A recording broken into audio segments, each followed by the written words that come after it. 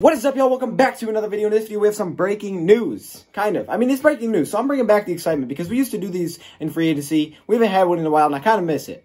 Breaking news, y'all. We have made another signing, as you can tell by the title and thumbnail. We have brought in Kenny Wiggins. Okay, look, Kenny Wiggins was here last season. I know it's not as exciting as some of the other moves. I'm sorry, but this is what we have, so it's what we got to work with until the draft comes. I'm sorry.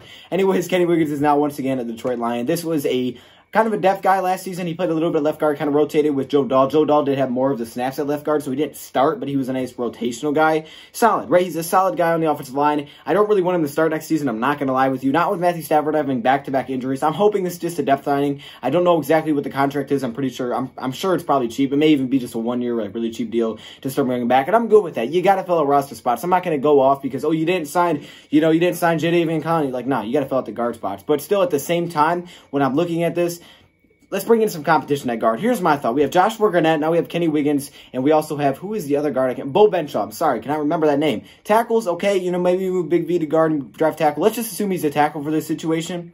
All right, the guard spot right now, maybe Joshua Garnett, the, the former first round pick, is that great. And maybe he balls out with the Lions and he's like, oh yeah, you started right guard, you got it, or left guard.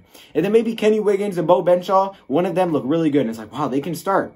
But at the same time, draft a guard. Please do not just say, okay, you know what, we're just not going to draft a guard, we're set. Don't do that with Matthew Stafford that's been injured back-to-back seasons. Your offensive line wasn't bad last season. So, I, you know, I do trust you guys a little bit. At the same time, bring in some competition. It doesn't mean that whoever you bring in has to start. I'm not saying first, second, even really third round they hit the draft lineman, but at least by the fourth round, bring someone in, please. Just bring in one guard at least for competition. All right, somebody. They don't have to win the drop. They don't win it, and the other guys do. Good for them. I'm not saying they can't be great players. We haven't seen Bo. We haven't seen Joshua Garnett. But man, when you talk about like what you know, the fact that they didn't start last season or the fact that Joshua Garnett is a guy that was kind of just let go as a former first round pick, a little bit concerning. At least just bring some competition in. If they win the job, good for them. I'll be rooting for them for sure. But still, bring in some comp. Don't make these moves, Bob Quinn. Please don't make these moves and just forget about the guard spot. I don't think you will. I have confidence.